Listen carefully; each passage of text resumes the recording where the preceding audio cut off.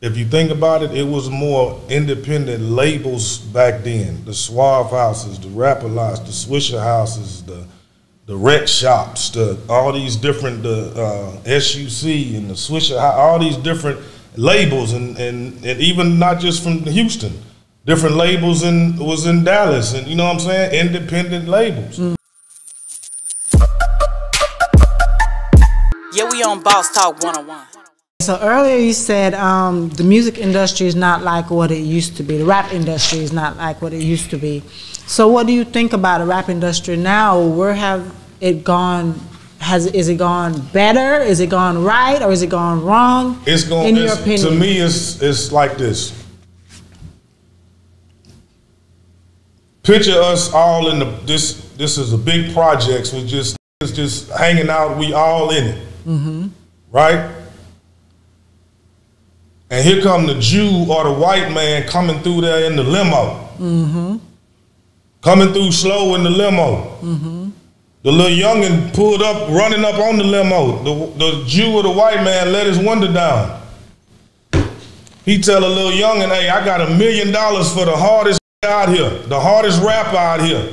Mm-hmm. I got a million dollars on right now for the hardest. The difference is we went and said,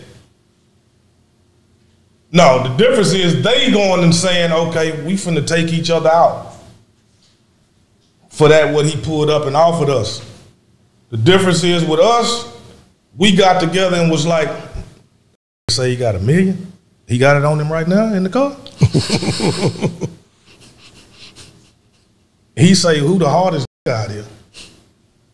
Bro, let me see. If we break this million down, it's me, Cole, Wes, Stan, E. They say you worked together back then. Now they don't Shit, work together no more. I'm good I'm on my little cut.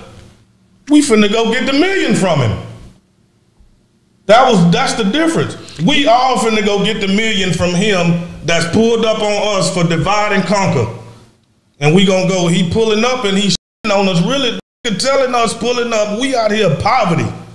But back then, a lot of times in a case like that, you're talking about togetherness, but then they love to separate people back then. They'd be like, well, no, I don't need all y'all. I just need the best person, one. There's no option of all y'all coming together. I just need one of y'all back then. How would it went? Y'all ain't gonna tell them, don't worry about it. You can keep driving. Y'all not gonna do that. Well, see, we was more. That's if you think about it, it was more independent labels back then. The Suave houses, the Rap-A-Lots, the Swisha Houses, the the Wreck Shops, the all these different the uh, SUC and the Swisha, all these different labels, and, and and even not just from Houston, different labels in was in Dallas, and you know what I'm saying, independent labels. Mm-hmm. That's gone. Right. Right, because mm-hmm. that required for us to come together. We got CEO E and Lady that's gonna take care of everything we need to be over here in the studio playing our part. We got Stan right there taking care of our paperwork. We all good. You know what I'm saying? We all familyed up. We all do this. We now it ain't like that. Now it's I gotta outshine you. I'm over here. I'm claiming this with you, but I'm talking about you with him, and and uh, I'm starting over here, and I'm acting like we friends, but we ain't, cause I want it all to myself. Yeah, we on Boss Talk 101.